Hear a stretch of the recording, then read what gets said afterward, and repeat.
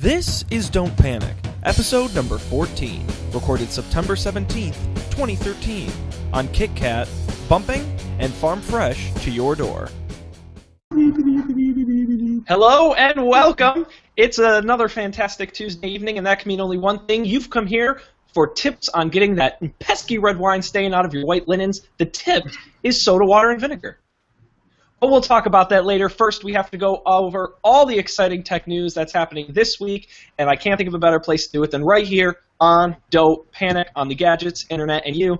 Joined as I'm Shaun Jennings. Joined as always by let's start with Colby. How you doing, Colby? Glad to have you back. Uh, thanks. I'm I'm excited to be back. I missed you guys last week. How was sunny Seattle? It was actually sunny. I- Wow. He brings the sunshine with him. Apparently, this is this is how like Microsoft gets people to work there. Like they intern there during the summer and it's sunny, and then they come back and they're they they're like, gotcha. Got him. Plenty Yeah. evil, just like Microsoft. Like every college in the Northeast ever. Yes. and that is, of course, Dan Miller. Dan, how are we doing this week? I'm excellent. How are you? I'm good. I'm excited. This is uh, this is going to be a great show. Uh, but let's do some of the housekeeping stuff first. Uh, thanks to everyone listening live again. For now, Tuesdays 11 p.m. Eastern. Uh, online, of course, our website don'tpanic.io. You can listen live there as well as uh, get in on all the good uh, recorded goodness uh, for audio and video episodes.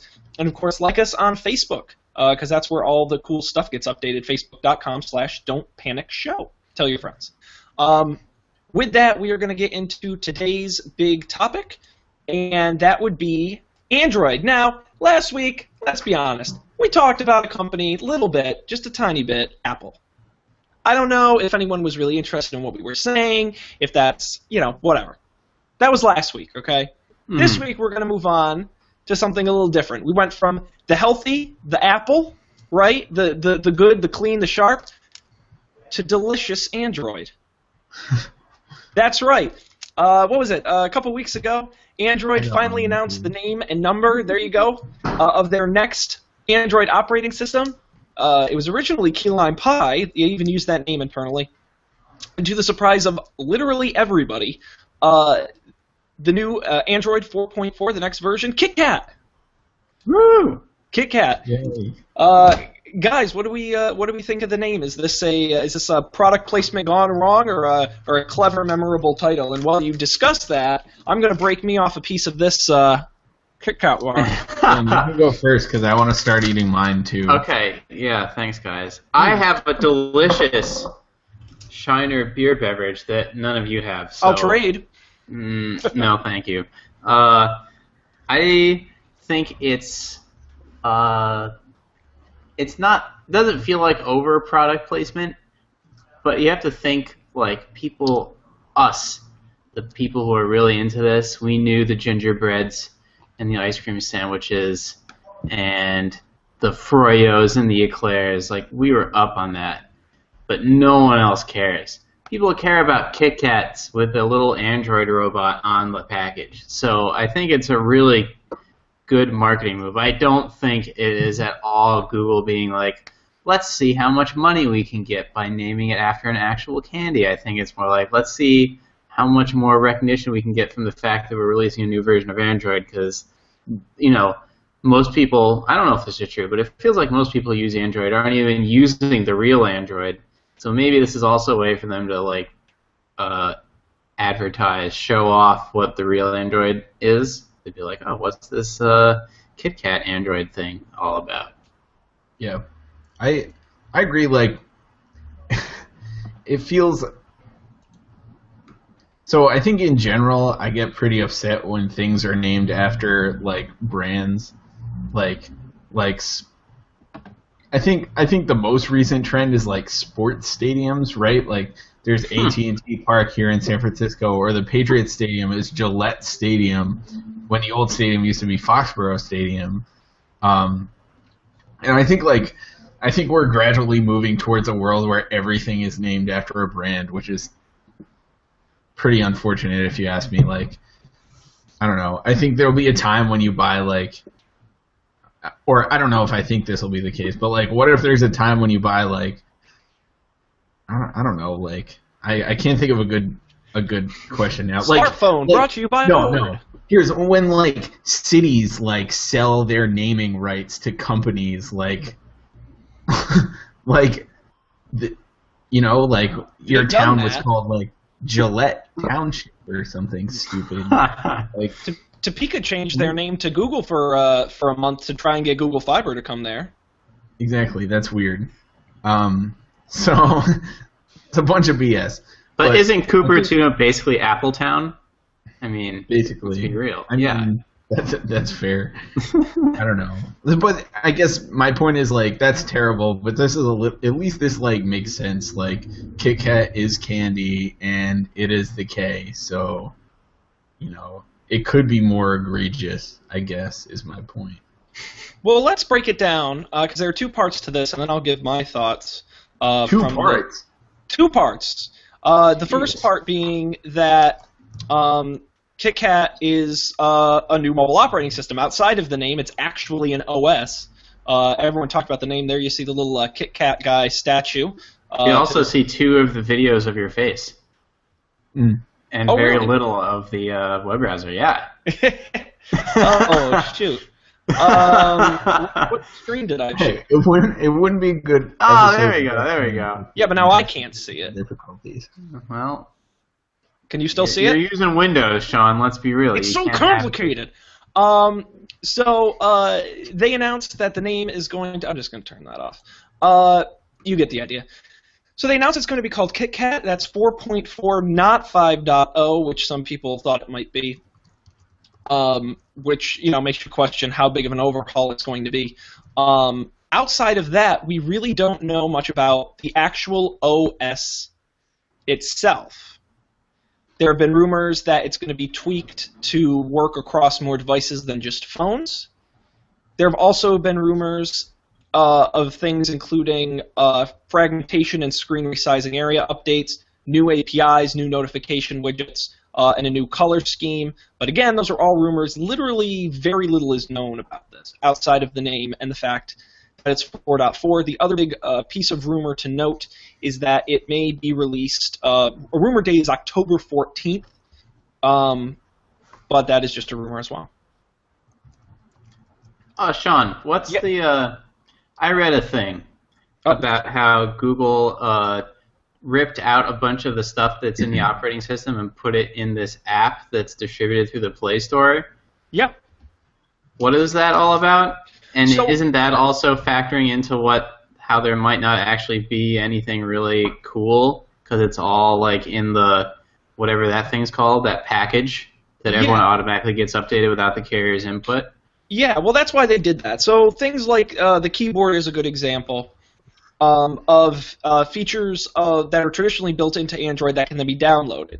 The advantage to this is that not only can things be easily updated through the Play Store, but also it can be installed on devices that are skinned, like Samsung devices and HTC devices. Um, but yes, that I think that really does impact. But I don't know what direction Google wants to go. Do they want to go this full application route? Um, and I would. split. No, I'm not going to disagree, but um, you know what? I don't know how that affects their relationships with carriers and with partners because uh, when stuff isn't locked into the OS, that means stuff can change more easily, and I, I can't imagine manufacturers and uh, carriers are going to be very comfortable with that. I think it's something That's Google why- would like to do. That's well, maybe that's why then they have to make this one like really irresistible, like with the Kit Kats and some maybe killer feature that everyone's like, oh my gosh, I want Google Now to dress me in the morning, and then like Well, Verizon, why won't Google Now dress me in the morning? And part of the rumor, it, it, Google's literal, the only sentence they've put out about this says, "quote It's our goal with Android KitKat to make an amazing Android experience available for everybody." Now it's vague, but there have been rumors that Google is going to tweak Android, and this plays exactly into that app argument to work on a wider range of devices, everything from smartwatches to gaming consoles to cheaper smartphones. And when you start removing features and are able to plug and play them in, that goes well to something like a smartwatch that's going to use more of the core operating system with less of the added features like a keyboard which probably wouldn't be on a smartwatch so i think that actually plays into it and i think that's an interesting angle we could see going forward Yeah, that's interesting. Um, that is kind of cool. It's cool, like I'm sure there's a certain a certain amount of appeal to that from a developer perspective because, like, you know, they can work on on higher level OS features like like the keyboard, right? Um, and update those much faster. They can move a lot faster there than they they can could if it was bound to the OS releases, which are like you know what once a year, once every six months. Um, Yeah. so yeah, I think that's that's an interesting take on it. We'll see. now Shaun's just gone. No, I'm still here. You just can't see me. Okay. I'm fix. I'm doing my makeup. I'm fixing my hair. Um, Fair so enough. the uh, other part of the story is, of course, the name. And I just want to talk a little bit more. Uh, the Verge has a great article on the, how the name came about, um, and it's just simply that Google thought it would make a fun name, and they decided to approach. Um, they decided to approach uh, Nestle, who owns the copyright internationally, with the interest. Um, the deal, quote unquote, is that um, they're not going to exchange any money, but KitKat is going to market Android branding on their bars and are going to give away Nexus 7s and Google Play gift cards. Um, and, and then Google is going to put their name on their products. Um, so there's no necessarily any uh, money changing hands, but certainly the name uh, is going to be used. Now, Cool. my thoughts on this as a marketer, I think Nestle made a mistake. Really? Okay. Yes, I think this was for Google. I think it's all upside for them. For Nestle, I think it's downside, and here's why. It's an OS that's going to disappear in six months to a year. So for Google, it's not a big deal. It's just a name of an operating system. They're going to get a little flack for saying they sold out, but really, Google's the kind of company they can just play it off as it's cool. We thought the name would be fun. It's KitKat. You know, Google can get away with that. The Don't they problem have this whole narrative about how the executive's favorite thing was Kit Kat's favorite candy or something like that? Yes, yes, absolutely. The the head engineer of the Android team uh, absolutely loved KitKats. Um, it was his avatar for a while on social media. He's always been a fan for a long time, and that was one of the reasons they wanted to do it. Okay. Um, so it's not something that you know Nestle called him, and I totally believe the story. Um, but I think the downside for Nestle is that their name will now forever be associated with this Google operating system. And imagine, I'm not saying this is going to happen. There's some chance this is going to happen, but this is where the downside comes in. Imagine Android 4.4 sucks. Imagine it bricks phones as they get updated what is going to be every single headline? Kit Kat, terrible. Kit Kat bricks phones. Kit Kats ruin lives. when you associate your name, you Don't break me off a piece of that Kit Kat bar. Thank you. Yes, give me give me a break! Exclamation point. Kit Ah. Kat sucks. You know, and that's the problem with a brand. You want to keep as tight of control of it as possible because when you let others do it, you can lose your message very easily. and by having letting Google use the name, they're all of a sudden forever associated with this other product that is in no way related to candy. So mm-hmm. if I were working at Google, I'd say, yeah, this is fun. Let's do this. If I were working at Nestle, I'd say, thanks, but no thanks. Because I just, I don't see, I don't think it's going to encourage people to buy Kit Kat or even raise Kit Kat awareness. Um, but the downside is much better than the upside. I, I just, I don't, like, like, raise Kit Kat awareness.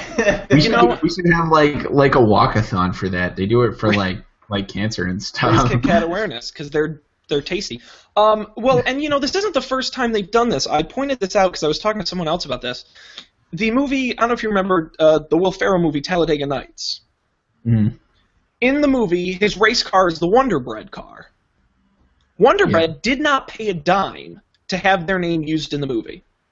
The Yeah. producers thought it would be funny if Will Ferrell drove the Wonder Bread car because it's white bread and that would be funny. They approached the Wonder Bread folks. They said, sure.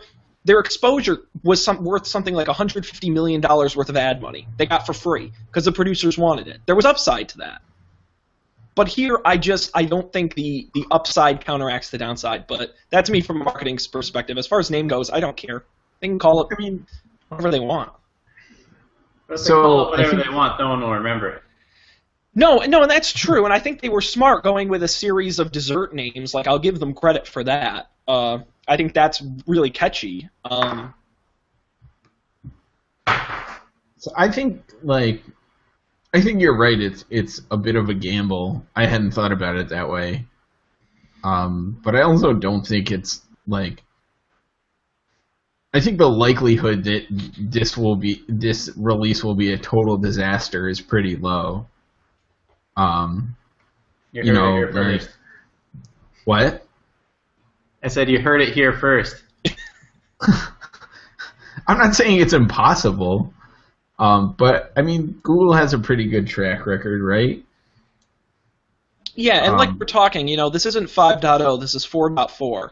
So right. Yeah, the odds the we're going to see some kind of yeah. So we'll see added features, but we won't see like an iOS 7 type complete overhaul. Right, right. So I think it, it could be like fine. But you're think- right. If if it does go wrong, like KitKat has everything to lose and Google really doesn't. I think if they had, if anyone had paid anybody, this would have been a disaster, a PR disaster. But because it was just Google saying, "Hey, we kind of like the name. You mind if we use it? Yeah, sure. Can we put you on some wrappers? Okay, um, it's fine. I, I don't. It doesn't faze me. You know, it's it's Google's product. They can call it whatever they want. Yeah. Um, and and if it makes one more consumer in a store look at a phone and say, "Is that running KitKat?" because they heard it somewhere, and it was more memorable than honeycomb or you know Mhm. ice cream. You know, key lime pie is not memorable. It's long. Um, it's often abbreviated. You know, KitKat's a good name. You know, it could be like. So I know there there are. I don't know if there are anything more than rumors at this point, but rumors that they might be trying to sort of reduce the fragmentation across the Android platform.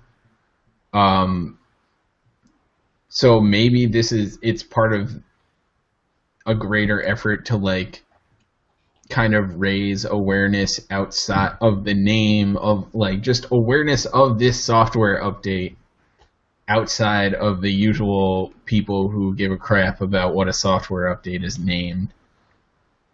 I think Um, the, pro- the problem with Android software updates is with the carriers. I think if Google could get the updates to everybody, they would. I think people want the updates. The problem is the carrier and the process of getting uh, an update out and getting it on all these phones. And I think Google is smart by raising the profile of Mm. these updates because an informed consumer is a successful consumer, and it's going to be interesting to see if people start calling up and asking why their phone isn't running KitKat. And, and if Yeah. that name plays any role in that, because if it does, that's big for Google. Uh, that's what they want. Yeah. No, that's a, I mean, that makes it like that makes everybody happier really in in theory like it makes people happy because they have the latest software, it makes Google happy because they have the latest software and it makes the people who write your apps happy because they don't have to f- support you know, fucking Froyo and shit which is like totally different than, than the current release. So, you know, it's good for that. You know, that's and obviously that's been one thing that that Android and I- iOS that that really distinguishes iOS from Android is the adoption rate of, of the software. So, Yeah, it's it's Google knows it's a problem. It's one of their biggest problems with Android, quite frankly. And uh, you know, is is just picking a name going to have any impact? I you know I don't know. I think we'll have to wait and see what the features are, and and you know, learn more than that. indeed. Indeed. All right. Well, with that, uh, I did want to quickly mention that there are rumors. Again, this is in no way official. Uh, that the Android 4.4 KitKat release in mid-October is going to be joined by the LG Nexus 5, the next the next Nexus phone. That's very hard to say. Um, we don't know a lot about the phone, but FCC filings have noted that it includes wireless charging, uh, all the LTE bands, uh, which the Nexus 4 does not currently have, NFC, Bluetooth, and all the other good wireless stuff. Uh, a 4.5 uh, inch uh, screen, hence the Nexus 5 name. Um, outside of that, we don't know much about the phone, but if you're in the market for a Nexus phone, you might want to hold off a little bit uh, before you go buying that. Fair enough. Okay. Uh, sticking with the Android space, we're going to move along to Google Wallet. Uh, Google has been trying uh, extra super hard to be in the payment space, and uh, this may be, could be, the single biggest update they've had Google Wallet since they launched it. And what that does is they uh, clicked that button and unlocked it on Yeah. all carriers. Finally, Really? Uh, what was the holdup on this? Was it the carriers or was it Google? it I was, under the impression it was the carriers. it was the Yeah. carriers. Uh, the specific technical reason I don't know. Well, I'm Um, sure there wasn't a technical reason.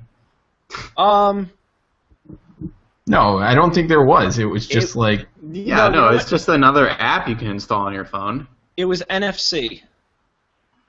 yeah, but the phone need still NFC like to I- use Google Wallet. I, I, Do you? But that's what you previously needed NFC to use it, and now you don't.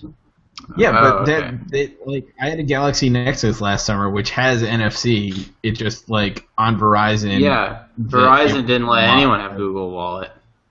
It says here, at the same time, Verizon, AT&T, and T-Mobile subscribers will finally be able to download the app, though they will not be able to use it to make payments with their phones through NFC technology. Why can't I do? And and that's probably a good thing because NFC's terribly insecure. That's probably it one of the really? reasons why Apple doesn't have NFC. Oh, interesting. Ah, here we go. Now I finally figured out why you couldn't use it on the carriers. Because Verizon, AT&T, and T-Mobile back the ISIS mobile payment app, which is a Google Wallet competitor. Totally a technical reason. Uh, and uh, and that was why. So they're they're opening this up.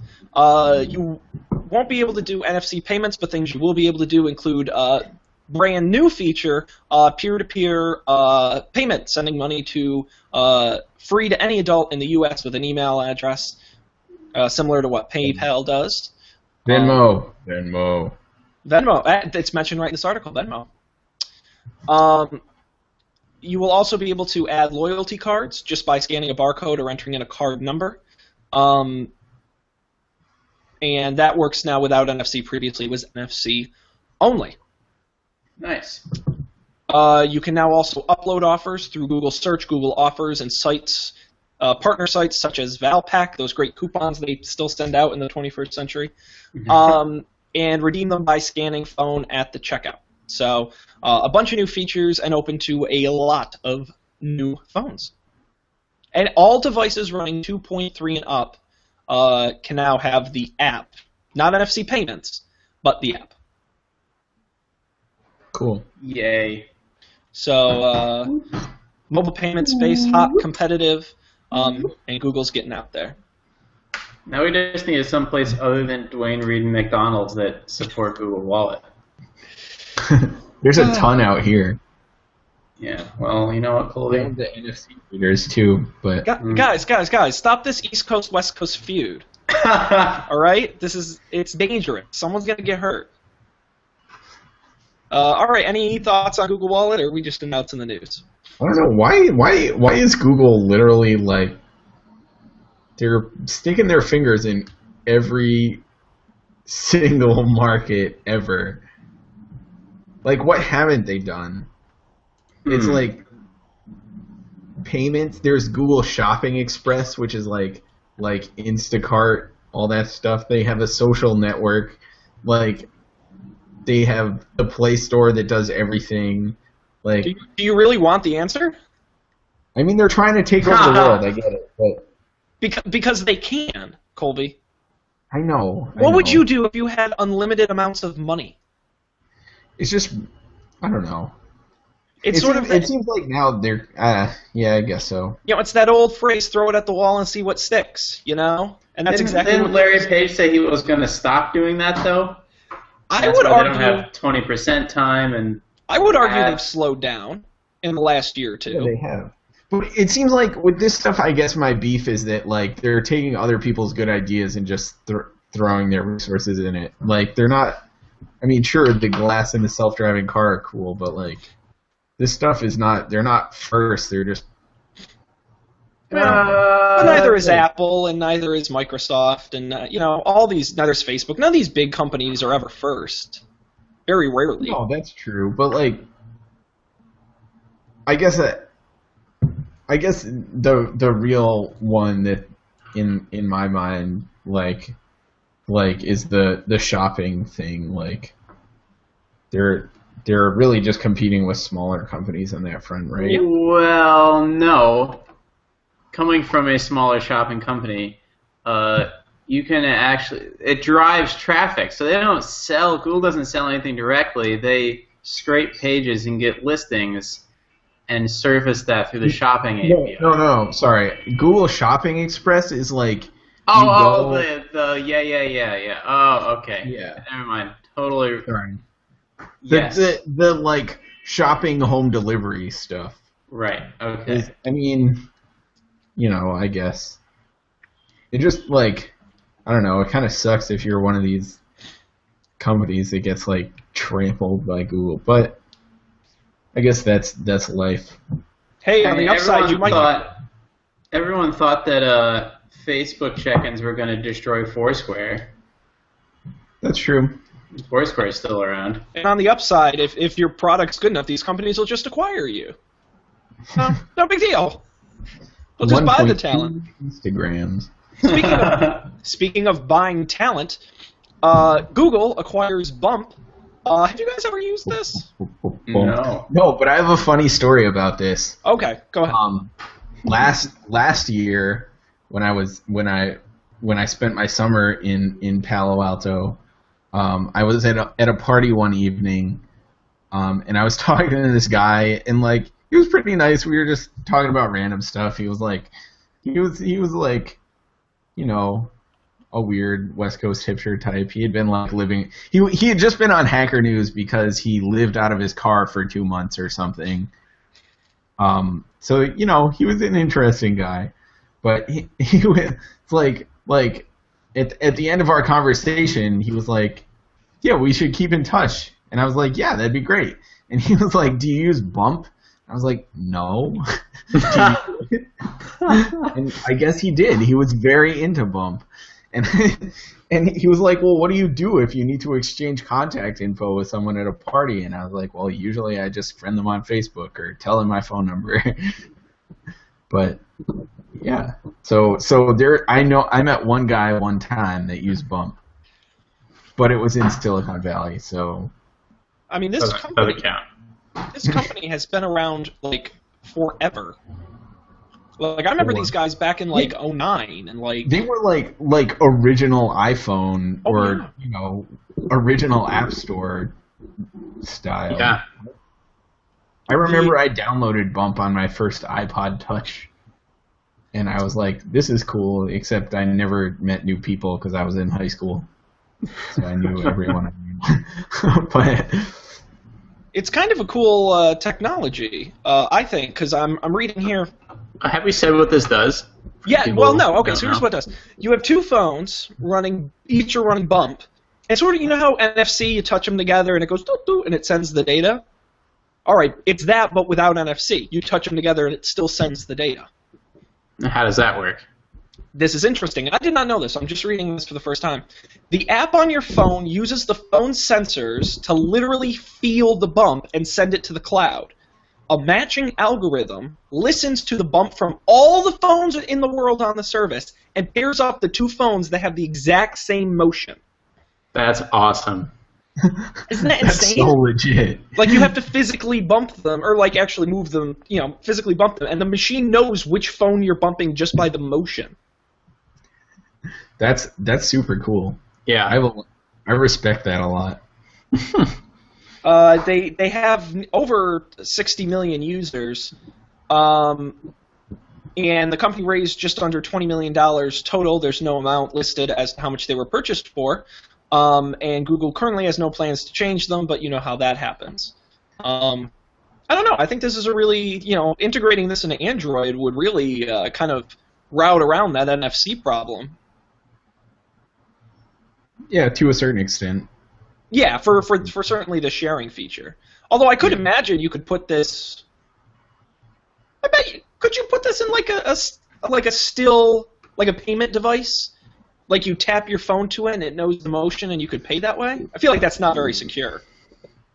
Well, as long as he had to confirm it on both ends, Yep. then I imagine that would maybe be secure. But that is neat. Yeah, I think that's why the the bump it, bump is kind of secure because like you both have to do it, right? Yeah, yeah, and they don't.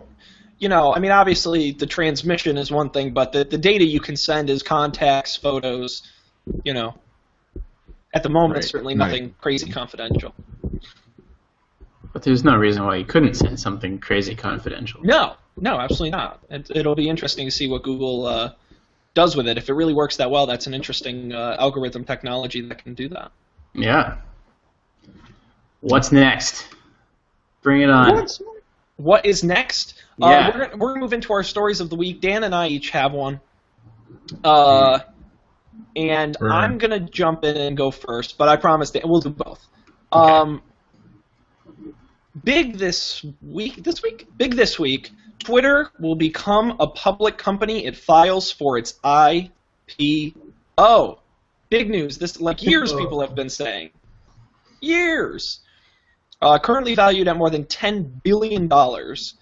Uh, Twitter, uh, we know, has less than a billion dollars, a billion dollars in revenue. I'm a little congested, sorry. Um, so uh, they uh, announced their IPO, and, and the reason I think this is interesting is because there's been a lot of back and forth, and people arguing is an IPO the right thing for Twitter to do? And I thought this could be an interesting, uh, you know, round the horn panel discussion as to whether we each think um, this is the right decision for Twitter, and can they be successful in an IPO? I think Twitter long abandoned its the notion of it being a communications platform when it decided that you couldn't use uh, apps to use like as a straight up Twitter client anymore. So like, if you're gonna do that, then sure, become a publicly traded company that is beholden to the stockholders. That's my opinion. Because I think the people who are arguing that Twitter shouldn't IPO is like, oh, it's like like a utility, it's like public service, and you know it, you know facilitates revolutions and blah blah blah. But they've already consciously made a decision not to be open. So Fair enough. That's fair. Um, what, what about you, Colby? Bring your incredible business acumen to bear. I don't know. It's weird. Like,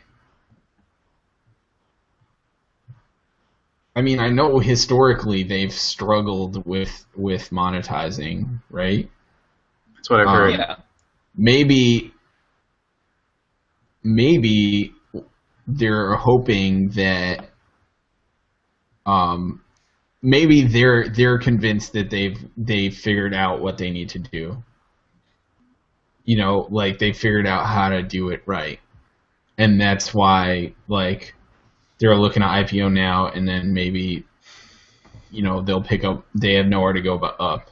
Uh, if you start a business and you don't make any money, isn't what other uh, revenue avenues are there besides advertising? Like, I feel like you can't start charging for the thing you're giving away for free. No, no, you can't. If it was free, you can't stop it. Right. Be- So once you take that like lean approach of like I'm just gonna make a thing, get tons of users, and figure it out later.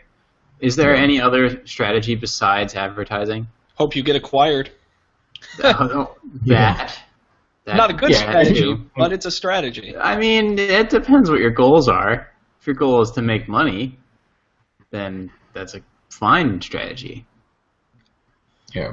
I think when it comes and the media when I I thought about this, I thought about this for a long time because this was interesting to me, and everyone is putting it up against the Facebook IPO because it is different, but but it is similar in a lot of ways. Well, they have the same, same sort of business model. Right, and and Facebook stock luckily has rebounded, but it struggled for a while, and people were concerned um, about how it was doing. And people say, "Can is the same thing going to happen with Twitter? Can they succeed on the stock market?" And I thought about it, and I sit all the time in my job in classes studying social media marketing. That's all these people talk about. I'm so sick of it. Hmm. but that's all they like. Social media is going to save advertising. It's crazy, but I will tell you, one of the most telling things to me about a Facebook versus Twitter, as far as business and revenue goes and advertising, businesses love Twitter, businesses loathe Facebook. Because on Twitter, they are finding engagement that they're having a tough time getting on Facebook. And that's for a number of reasons. It's how it's set up, it's how even the service itself at its core is designed, but it's also the types of users across services. But I think the reason people were concerned with Facebook's IPO was revenue. Obviously, that's what you worry about when a company goes public. I personally have no worry about Twitter's revenue. I think Twitter is making all the right moves. Everything from sponsored uh, trends to inline sponsored posts. Their ads are both effective and non-intrusive. I feel like all the partnerships, acquisitions like Vine are smart. I think this is a company that, unlike a Vine lot, wasn't partnership or an acquisition, what? was it? I don't think Yeah, it Vine was- was a partnership or an acquisition. It was an acquisition. Yeah, they bought Vine. Very Oh, oh, really? I thought Vine was just like their an internal thing they did. No, it, it was in it was in beta. They hadn't bought it before launched. they released Vine, though. Yeah, They bought the company once they saw it before it was even released. I see. I see. Okay, that makes sense. and I Sorry. just I feel I don't know. I, it's hard it's hard to quantify, but you know, people say it, it, can Twitter succeed as an IPO, and you know what? I kind of think they can. I think they have a really good handle. They're making a lot of smart strategic moves, and it's it's it's something people are still excited about, which is really rare for a company that's seven years old on the internet. Yeah, it it surprises me to hear you say that businesses like Twitter better because it seems like Facebook posts from a page are easily buried and like you don't have to pay attention to the comments. Whereas on Twitter you'll see like today with Jeff Jarvis's uh, argument with a Verizon support person about whether he get his Nexus 7 tablet on Verizon, and they said something stupid, and then that tweet now has like 1,200 retweets, and it's in articles all over the internet. Like you wouldn't ever see that about a uh, Facebook post. So like you're talking before about limiting their uh, brand exposure. Uh, you can delete comments on a Facebook page. Uh, No, it's also interesting because conversations are incredibly difficult to follow on Twitter. So it's kind of counterintuitive that people have more conversations, or brands have more conversations with their customers on a thing that makes it really hard. But believe it or not, brands hate having conversations. I believe I believe that. That's why I thought that Facebook would be great because you just see like, oh, there's fifty thousand comments. I'm never going to look at any of these. But they're I'm so- just no. ignore them. But comments on Facebook are so much easier to find than replies on Twitter. So stuff gets buried so quickly on Twitter, whereas on Facebook, people do actually look at all the comments, believe it or not. What? Yes, I've tried. Like sometimes I see my friend, like I'll see it in the newsfeed, like, oh, someone commented on this post from this company, and I go, there's so many replies, I could never find what they actually said. Well, and that's going to happen on both. But the thing about Facebook is, you know, you like a, But a that doesn't comment. happen on Twitter because ah. if someone tweets, I can just go to their account and see their tweet, and then double click on it and expand the conversation that occurred around it. So maybe Twitter is better than I think it is. Yeah, I mean, obviously each has their advantages and their drawbacks, but I just know from people I've talked to in the industry and what I've studied that companies more and more are putting advertising money into Twitter and um, inst- um, and Instagram and um, services outside of Facebook because they're not seeing returns like they'd like. And I think that's a a big selling point for Twitter and an issue for Facebook. But that's you know another topic for another day. Um, I I wish Twitter the best of luck. I hope they make a lot of money, all the money, too. and they can give me some. That would be nice. Um, all right. So unless we have any other thoughts on that, I promised Dan another NSA story. Again, We're never gonna let that go, Shaun. It's gonna no, be. I know, I know. Uh, well, we have a, we, I think we have a fresh conversation. So I don't know if I mentioned this before. I think I did. That it turns out that the NSA has uh, so like people have always talked. There's three ways that we could that encryption could be defeated. Uh, one of the ways is that you break the math, so you find a vulnerability in the math itself that encrypts the things and that's really hard because like there are some really smart people, including people at the NSA, who have developed these things. Uh, and it turns out that uh, okay, so then you can go after the implementation. So this math is implemented in software in a computer, and that's maybe imperfect. Uh, probably, if it's software, it's imperfect. If it's in hardware, it, it might probably also be imperfect, and then you can kind of exploit that, or you can just deliberately insert yourself into that process and add backdoors, like I think we talked about last time, where the NSA has. Uh, there's evidence to suggest that the NSA has like intercepted packages that are being downloaded from like Linux distributions and replace them with its own versions of encryption that have backdoors transparent to the user. Things like that. But turns out that it could even be worse than that, and that the NSA has uh, there's a standards body called the NIST. I don't know what it stands for, but they create the standards by which the encryption math is written against, and they have, and then Snowden leaked documents that says that they have uh, specifically like socially engineered those committees to overlook technical drawbacks of their standards so that the NSA could systematically backdoor any implementation of that at any level they want to, which is pretty crazy. But I guess this is all old news, and we have to assume that the NSA knows everything. Because every time we say, well, at least as long as you encrypt your stuff, you know, then they can't know. Well, they can. Uh, so I don't think there's any any hope. But the interesting thing about this to me now is there's all this talk about uh, how does this make the tech industry look internationally when there's evidence that Intel chips, the uh, hardware cryptography systems are obvious, you know, very well backdoored. China's not going to buy them now. Russia's not going to buy them. None of these places are going to buy them. Uh, and who knows, like Israel or the UK, who have been shown to be complicit in this, who knows if they knew that this was happening. So there's all sorts of interesting things that are happening here. But it puts the uh, the whole United States IT cloud like, come give your business to Google or Amazon or Salesforce. Give us your business contacts. You know, promise we won't do anything with them because they're encrypted in our servers, and the U.S. has great privacy laws and freedom and blah blah blah. But it turns out that the NSA can look at your customer list, international company, whenever they want to. I mean, Uh, So- and how does that make uh, like confidence in the U.S. as a business and the technology industry as a whole? Yeah, that's uh, like that's one of the things I've said, or at least attempted to articulate since all this NSABS started. Is like, like we in America enjoys a particularly privileged role in you know the tech space and the the inter really just in general the internet in general and all things having to do Yeah. with it. It was all mm-hmm. developed here. Yeah, and this has like this has serious implications for that. Like, you know, it would, they've clearly gone too far. I don't. I mean, too far was a long time ago, I think.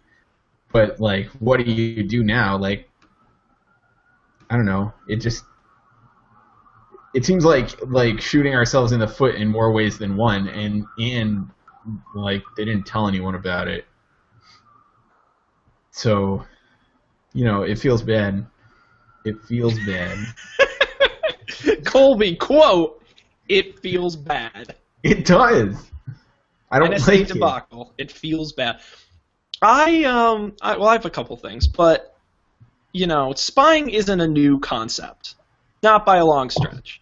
The government could tap phone calls around the world decades ago, and it didn't stop people from using the phone. All the computers have done is made spying faster and easier. Now that's not good, and I'll agree with that.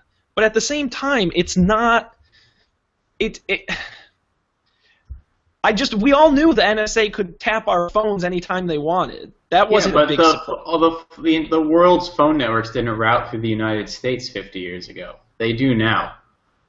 Yes. But better for us as Americans. But uh, No, it's, it's not though. Like that's a, and I, I will say, you know, uh, you know, the United States is not allowed to buy uh, Huawei, and there's another Chinese company that we cannot buy their phones because the government can't trust them, and they're not sure if they're safe or backdoors for Chinese hackers. yeah. And it's sort of what we're talking about is sort of the reverse of that. The you you know China banning Intel products. Well, I, I guess the thing is like like I th- see. I think that's interesting because you know I think you ask anyone in America, you tell anyone in America that right, and they're like, oh yeah, well it's China, of course. They're they're you know this oppressive communist government, right? But you know the the shoe's on the other foot. It's- Well, you yeah, know- you know the people in Norway, up until maybe now, wouldn't have had a problem doing business with the U.S. Wouldn't have a problem creating a company that used Amazon EC2.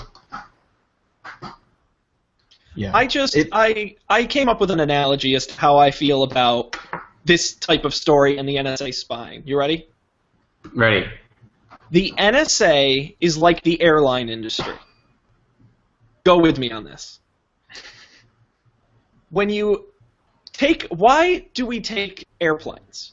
Cuz they're faster, they're occasionally more convenient, sometimes they're cheaper. They take us places we can't go otherwise. There are a lot of upside to, to driving in a plane, okay? But for that very small percentage of, of time, one out of every 10,000 people, that plane crashes.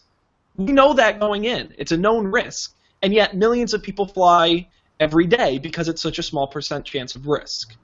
Because the upside is much greater. That is how I feel about the NSA spying on everything. but we don't that- know what the upside to the NSA Okay. spying is. Obviously, we don't know for sure. I'm going to go to the extremes of this argument, okay? The absolute best case scenario is that they stop some sort of crazy hacker from busting into our power grid, shutting down electricity across the country, stop them from opening the Hoover Dam and flooding the Grand Canyon, some crazy shit. I don't know. That that would be the extreme argument here as to what all this spying is doing.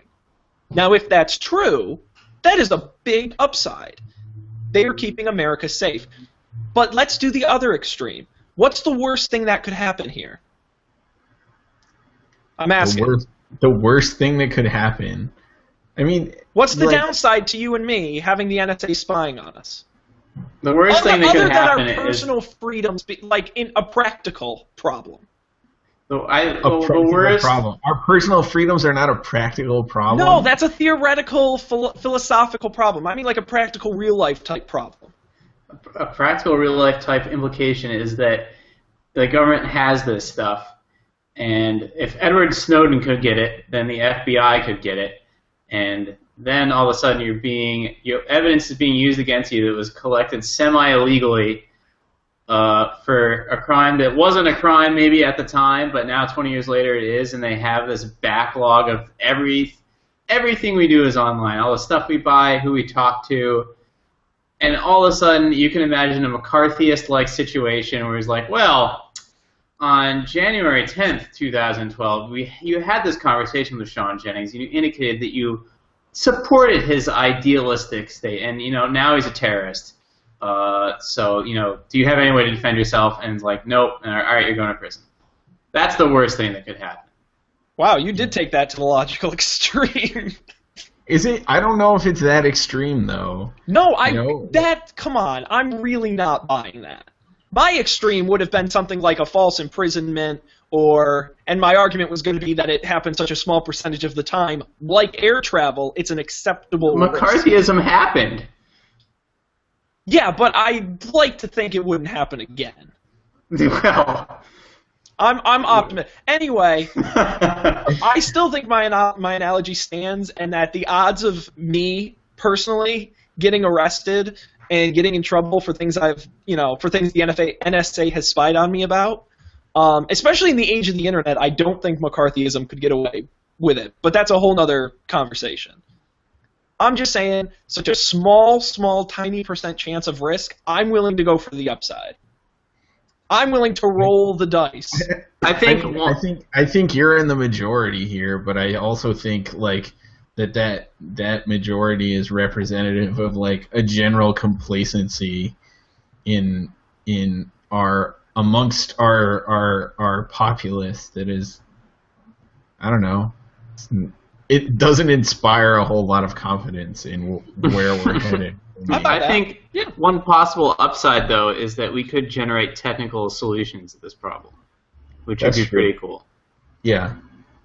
There's a couple proposals that would prevent these sorts of man-in-the-middle attacks that are, you know, there's nothing you can do to prevent standards bodies from being infiltrated by the NSA and, uh, you know, surreptitiously influenced to do things the wrong way. But there is, you know, you can't just log you if you you know broke into Google servers and you got their key, they couldn't decrypt your email because they have to have something. You know, I think there are good things that can come out of this that would be pretty cool that would maybe help circumvent this problem, and then we'd all be happy, except the NSA. regardless of what side you're on, we should always be paying attention. Indeed. I think that's a good takeaway message. Either that, or, or I don't know why the NSA just doesn't do like an IBM and just do server technologies for all the companies around the world. That's what they're doing anyway. yeah. Um, make some money back on that. Uh, all right, well, uh, awesome, outstanding conversations as usual. Uh, and we're gonna move on to uh, the picks this week, and you guys both have just like such outstanding picks. Um, I need to get a life because your picks are just outstanding. I have a great. They're good. So, uh, so who's gonna who's gonna jump on the bandwagon and volunteer to go first? I'll go first. Ah. beat Whoa! I like Aha. I don't really care. All right. Um, yeah. So, pursuant to our conversation about what Colby, what was that thing you mentioned? What? The Google Express shopping Oh, Google. hangout. Yeah. Google Shopping Express. Right. So there's this other cool thing called Quinciple, which is only in Manhattan and Brooklyn. But there's other things like this. There's Farmigo. Uh, what's the San Francisco one called, Colby? Uh, the the grocery. Yeah, where they like just bring you a box of pre-picked food. You don't have to think Oh, about that it. one. I don't know. I don't know. Yeah, so Um, there's like one in Chicago. It's like, you know, if you're in one of these metropolitan areas, you check this out. Anyways, there's one in New York called Quinciple. Basically, what they do is they pick out these foods for you for the week, and you pay a fee, and you get it delivered every week. Uh, so, like, we can look at this week. And if I became a member by Friday, which I will, I'll get this box. It has Acadian redfish, cherry tomatoes, squash, eggs, garlic, ginger, mustard greens, peaches, sourdough, basil, honey, and then they give you recipes that use these ingredients down here and cooking tips and cool things like that, which is pretty awesome. So you get the benefit of eating out in that you don't have to think about what you're eating, and also maybe that you're delegating the healthiness of that thing to someone else. But you also get the benefit of I'm not sure if you're necessarily saving money. I think you probably are because thirty-seven dollars for a week's worth of food, uh, three meals, or you know, thirty-seven divided by ten, five dollars a day for like lunch and dinner or breakfast and dinner. That's pretty good.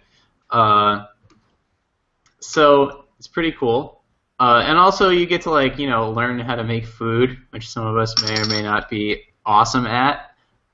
Uh, you don't have to worry about like oh, I have to go to the grocery store and well before I go to the grocery store I have to think about what I'm going to make this week, but I can't really think about what I'm going to make this week until I go to the grocery store to see what they have and I see what's in season and blah blah blah. So it's very lazy and I approve.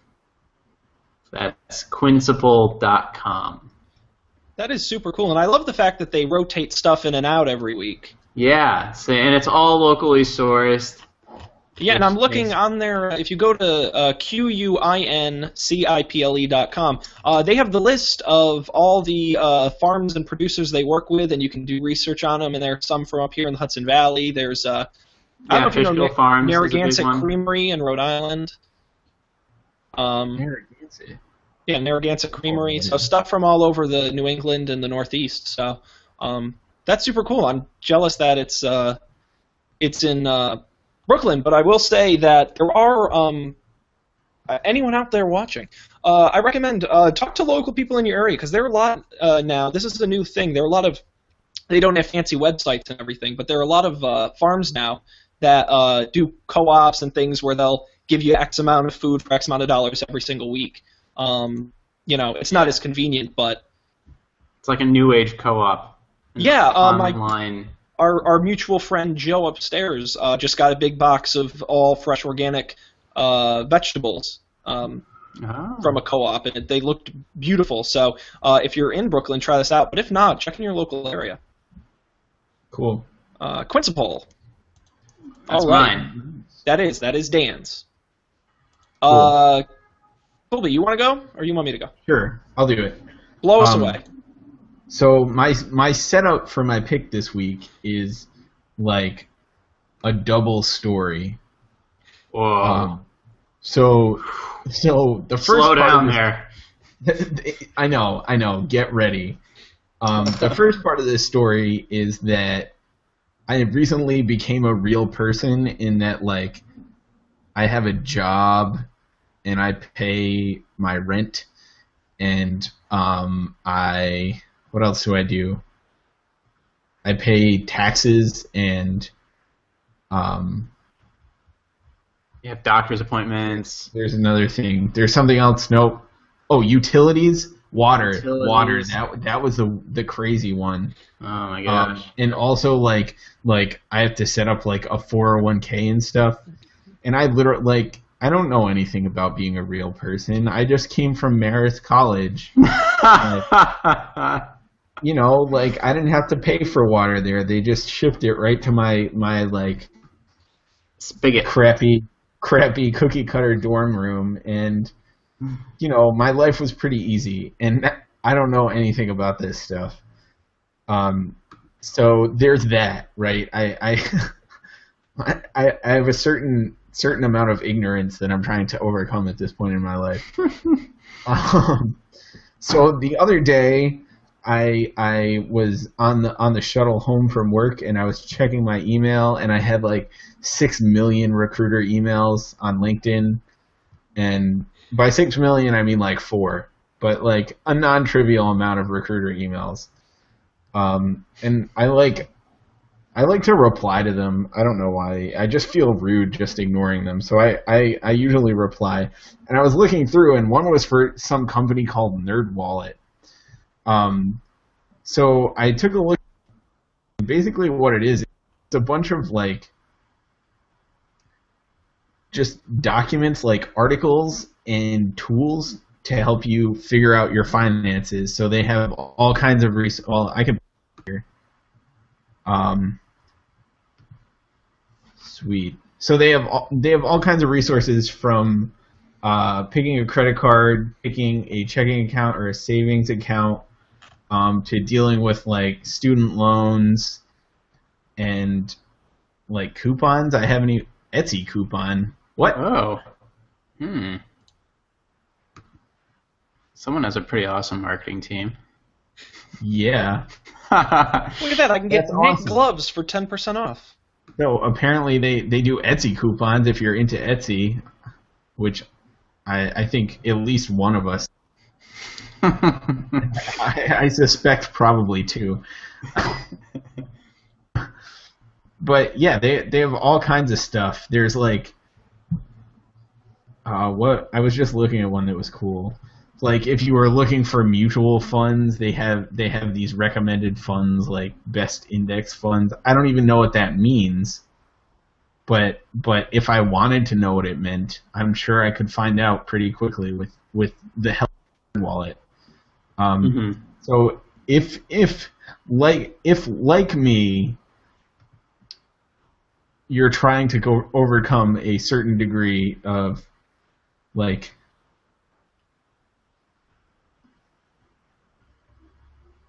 I don't know ignorance. Lack of education. yes, lack of education. yeah, they don't teach this stuff in colleges, and they don't teach it in high school anymore. Like they still have shop class, but they don't have like how to, you know, whatever the balance your checkbook. Like Right. anyone Well, has I mean, checkbooks to anymore. be fair, but- is not a thing that you have to do anymore. right. Um, but like, like you're right. Like practical, like real life stuff. Like you get thrown into into this, and you're totally on your own. Um. So yeah, check it out. It's it's been. I I haven't gotten into it too deeply yet, but it's been cool. What I from what I've seen of it, it seems like useful, like relatively easy to digest information.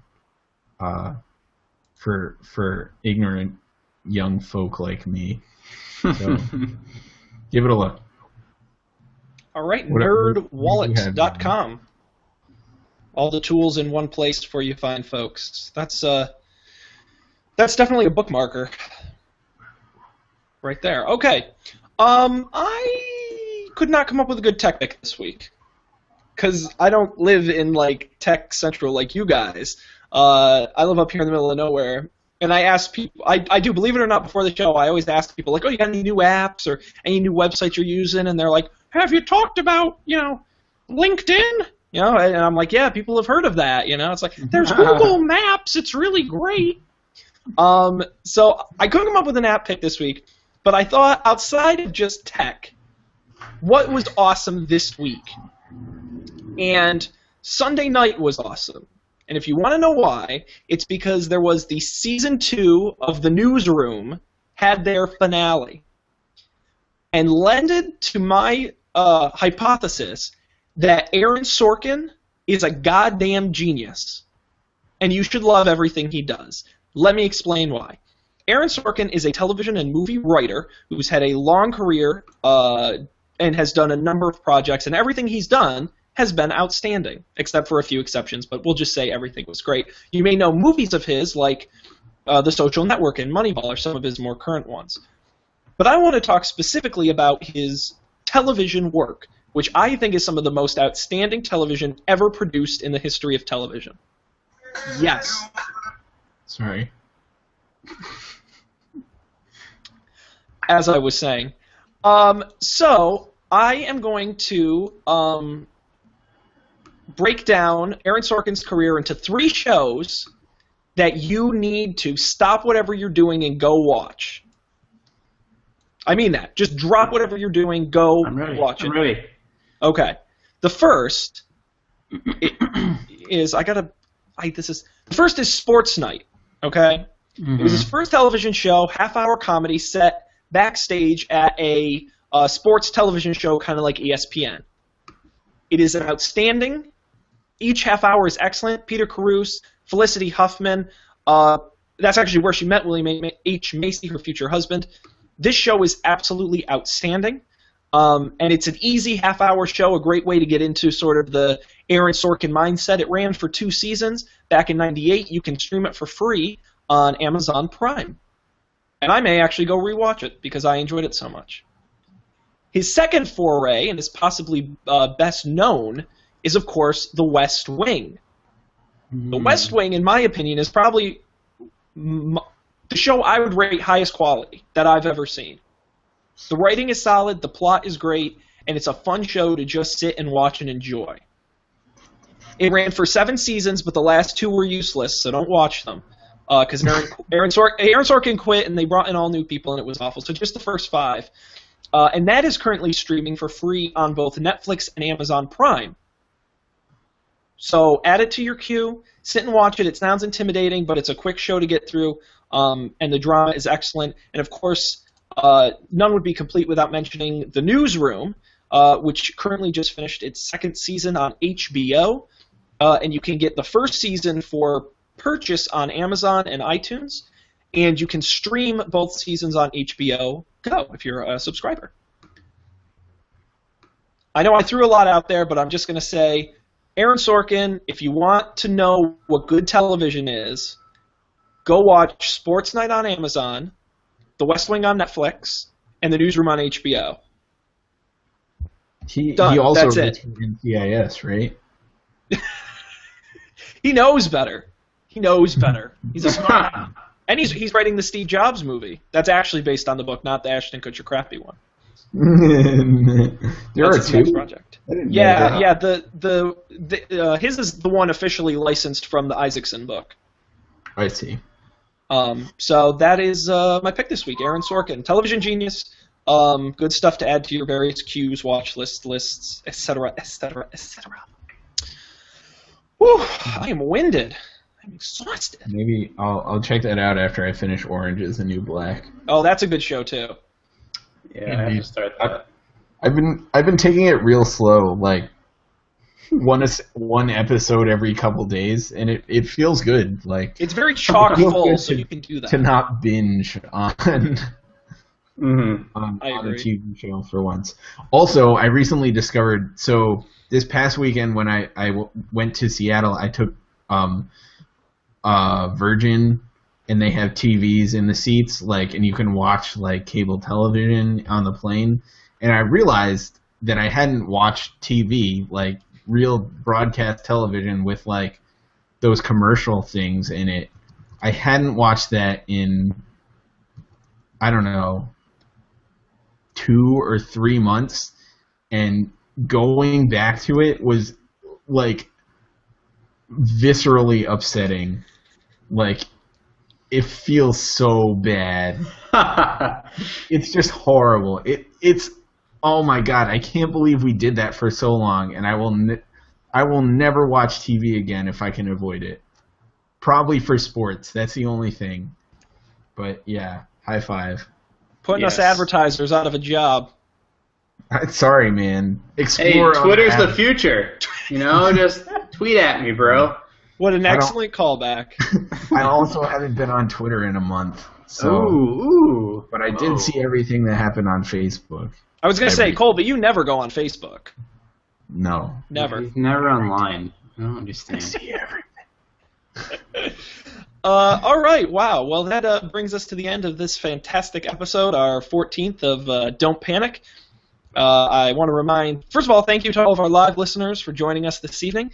Uh, and those of you who couldn't be with us live, of course, it is always available after the fact, audio and video at don'tpanic.io. And please, I beg of you, uh, like us, uh, because if you do that, you're going to get not only we're going to remind you day of when we're live, we're going to tell you when we're live, we're going to tell you when the new episode is out. It's great, and we won't harass you, um, and we want your interaction regardless of what I said about Facebook. You should like us anyway. Facebook.com slash Don't Panic Show. Uh, on behalf of Dan, Colby, and myself, I want to thank everyone out there for watching, and I'll end the show as we often do by reminding everybody take a deep breath, relax, don't panic. We will be back next week with all the tech news you can handle, but until then, good night.